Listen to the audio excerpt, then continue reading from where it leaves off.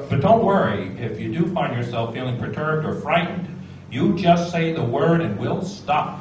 Oh, right. If you think you see something, for example, Okay. or sense a presence, are you ready, Professor?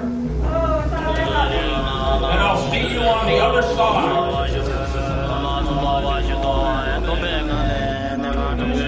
Religion's not reasonable. Why, sometimes I believe as many as six impossible things before breakfast. Yeah, and you're the fundamentalist, man. going to be too difficult for you that I don't believe in God, Tom. It's going to be too difficult for you that I do. You didn't reply. You denied Tom the funeral he wanted. I swear to Christ's grace, You will not be a part of your grandchild's life. Did you hear what I said? Uh, Is this working? Can you hear me, Professor?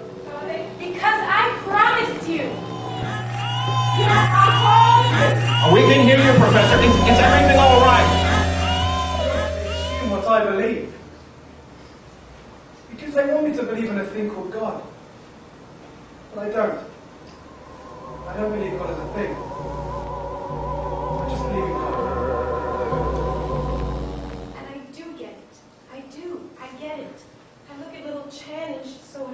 And she's mine and my responsibility and I get it over and over and over, overwhelmed, overwhelmed. And I choke on it every day. I suspect, and this is the truth, Tom, that you are going to love your God more than you are going to love me. And I think about that tortured man twisted on the cross, and I understand the inspiration, but I need to be the most important thing. Faith.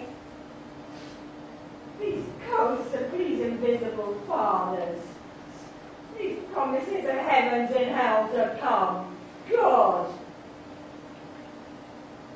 Someone else to blame.